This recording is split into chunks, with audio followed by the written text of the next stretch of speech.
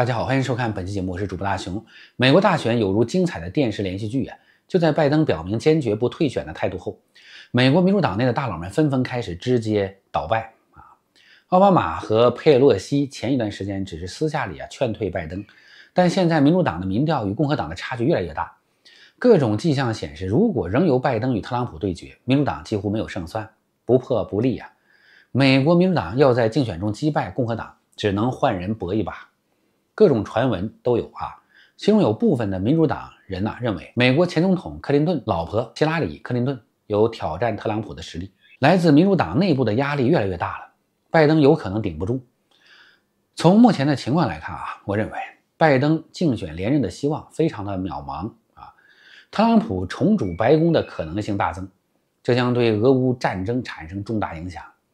七月十九日，美国国务卿布林肯表示。如果共和党候选人特朗普在十一月的大选中赢得胜利，那么美国的援乌政策可能会生变。布林肯的话显示啊，美国民主党人对赢得大选信心严重不足。另外，对共和党是否继续援乌持怀疑态度。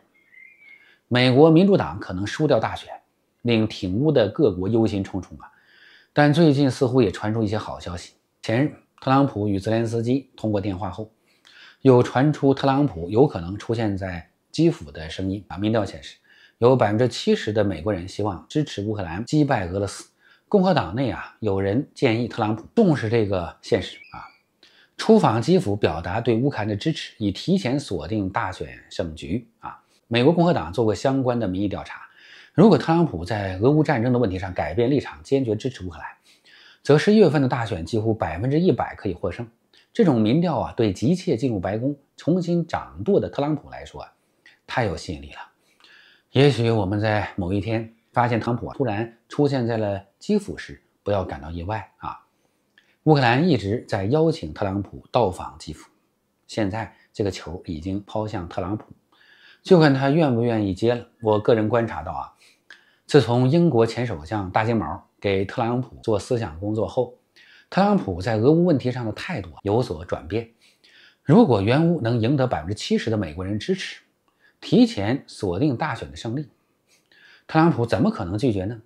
现在啊，有些媒体开始提前炒作特朗普出访基辅的事儿，因为如果特朗普成行，将绝对是一件轰动性的事件啊，并可以提前锁定未来国际政治地缘格局。有消息称，特朗普正在权衡利弊。不久啊，将做出决定。美国民主党获胜，一定会延续拜登的援乌战略；而共和党特朗普获胜，并顺应大多数美国人的期望，改变曾经拒绝援乌的态度，则乌克兰左右都是赢啊！依我看呢，乌克兰赢定了。国际政治风云变幻啊，根本没有固定的规律可循。我们总是被一起又一起突发事件挑动敏感的神经。虽然我们无法预测重大的突发事件，但我们始终相信啊，人类文明的发展路径一定是波浪式前进啊，螺旋式上升的。文明必将战胜野蛮，理性必将战胜贪婪。为了战胜侵略者，维护人间正义，英国决定明年加倍援助乌克兰。最近，英国国防工业公司谢菲尔德锻造厂计划为乌克兰生产105毫米炮管和15毫米炮管。俄乌战争过于激烈，很多火炮早已到了需要更换炮管的时候了。英国此举有利于维护乌军火炮部队的战斗力。小国克罗地亚无偿援助给乌克兰两架安三二 B 运输机。乌克兰对俄罗斯的纵深打击仍在持续。昨天，乌军无人机袭击了俄罗斯罗斯托夫的米勒洛沃机场，该基地受损严重，这里啊停放着不少的俄军苏三零战斗机。防务快报分析师认为啊，从火灾监测服务的数据来看啊，乌克兰无人机击中了空旷地区的飞机和直升机。克里米亚风电报频道报道说，无人机袭击了俄罗斯的米勒沃洛机场。据报道啊，在机场附近呢发生了超过十六次的爆炸，在地村附近以及油库附近啊，另外乌军导弹成功端掉了俄军第六十摩步旅指挥部。当时，俄第五集团军副司令和第六十摩步旅指挥官们啊都在现场。从袭击现场前后照片来看，俄军指挥部被一锅端了，至少数十人死亡。有关 F 十六的消息总是让人兴奋啊！俄罗斯媒体称，最少有四架 F 十六出现在乌克兰海滨城市奥德萨上空。俄媒称这些飞机是从罗马尼亚起飞，乌克兰方面予以了否认。F 十六已抵达乌克兰啊，应该是真实的消息。但从罗马尼亚机场起飞，那就啊胡扯了。乌克兰各机场啊早已做好了接收 F 十六的准备啊，怎么可能将这些飞机放在罗马尼亚机场，造成不必要的争端呢？看来 F 十六准备参加实战，目前在奥德萨上空演练。一方面呢是警告俄罗斯不要在此方向打什么主意，另一方面有可能将俄占。赫尔松和克里米亚的俄军目标当做重点打击对象，乌军在哈尔科夫方向啊取得了一定的进展，乌军正在切断被围在沃夫昌斯克谷料厂俄军的补给线，这里已经被乌军包围一个多月了，乌军利用这里围点打援啊，困在这里的俄军呢已经收拾的差不多了啊，乌军准备收网全歼这些瓮中之鳖啊，俄军在顿涅茨克方向取得了一些进展。其他方向双方战线没有明显的变化啊！战争即将打满三年，俄乌战争将俄罗斯军事强国的神话撕了个粉碎呀！过去神一般存在的防空系统 S 三百、S 四百都已成为笑话，空军的苏三四、苏三五战机也不断用折戟沉沙来证明大俄的神话破产。号称地表最强的坦克 T 九零形成的钢铁洪流已经被打得没有了洪流了，而只剩下了一堆堆的钢铁。在俄乌战场上，已经出现了珍宝岛时期的神话 T 六二，这本应该在俄罗斯军事博物馆里尽享当年的威武的老物件了，却被派上前线了。不能不说啊，大俄已经快弹尽粮绝了啊！当二零二四年七月十五日，俄罗斯黑海舰队最后一艘巡逻舰灰溜溜地逃离克里米亚，我以前的预言真的应验了。黑海舰队被打的只剩下了黑海，要知道。以前要想通过黑海，乌克兰商船必须经过俄罗斯的许可，否则你想通过门都没有。真是风水轮流转呐！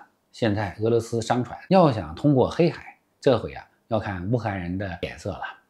一个没有空军和海军的乌克兰，硬是通过俄乌战争，打出了一片新的天地，拥有了自己的海军和空军。将世界第二军事强国俄罗斯打成了世界军事三流水平。更有趣的是，被简中圈十分看不起的戏子总统泽连斯基，现在竟然成为世界政坛上举足轻重的人物。到哪里开会啊，都是站在 C 位上。这和那个被神化了的硬汉形象的普京，正好来了一个乾坤大挪移。普帝在世界的外交舞台上，不但没有 C 位的待遇。就连出国都成为了难题啊！因为海牙国际法庭正在通缉他，他一旦进入海牙国际法庭缔约国的地盘，那么就会被逮捕。戏子成为了真正的硬汉，而硬汉却成了演员。从土地变成土地，只需经过一场侵略战争的距离。现在，俄罗斯人也在加速逃离克里米亚，这是否意味着乌军很快会占领克里米亚这个让乌克兰人魂牵梦绕的海岛？一个人的伟大呀，不只是懂得什么时候开始，更要懂得什么时候结束。但是人的贪婪的本性使然，导致普帝踏上这条战争的不归路。在发动俄乌战争之前，我一直认为普帝是睿智的、有魄力的、有远见的、有智慧的、非常精明的总统。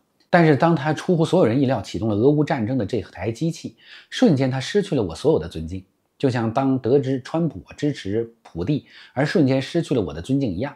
后来，当我阅读了《大国论》《领袖论》之后啊，瞬间顿悟啊，一个人一旦在权位高耸的山峦的位置上坐久了之后啊，就会变得愚蠢，这是一定的啊，是不以人的意志为转移的。独裁到最后的归宿一定是谁都靠不住啊，只有家里人靠得住。这是一个七十二个心眼儿、九十六个转轴的时代啊，世上哪有什么绝对忠诚啊？那是上坟烧报纸糊弄鬼的啊，只不过是自我安慰罢了。大家都知道。胡塞武装是大俄豢养的一条狗，应该对大俄绝对忠诚了吧？但是，就是这样的一头狗，近日啊，却用无人机袭击了俄罗斯哎红海的商船。如果不是胡塞武装自己公布了其在红海用无人艇袭击了俄罗斯游艇啊西俄斯师的号的视频呢，我简直不敢相信胡塞武装竟然向俄罗斯开火了。难道胡塞武装是美帝派来的卧底吗？还是属于恶意？讨薪行为啊！总而言之，胡塞武装向大俄开火了，啊，你什么时候听说过二战后啊美英法德意日等互相开火的？俄罗斯商船啊都没有任何一家非俄罗斯的保险公司啊给承保了，这是多么尴尬的墙倒众人推的事实啊！俄罗斯经济、军事、政治、金融、外交等等啊都已经被打残了，现在啊只是苟延残喘罢了。俄罗斯已经进入历史的垃圾时间，不能不说啊。俄罗斯也有今天啊，在黑海被乌克兰揍啊，在红海被胡塞武装揍，大俄说我太难了啊！今天视频就到这里吧。为正义发声啊，实属不易啊！喜欢大熊视频的老铁们，请随意的给个赞赏，你们的鼓励是我最大的动力。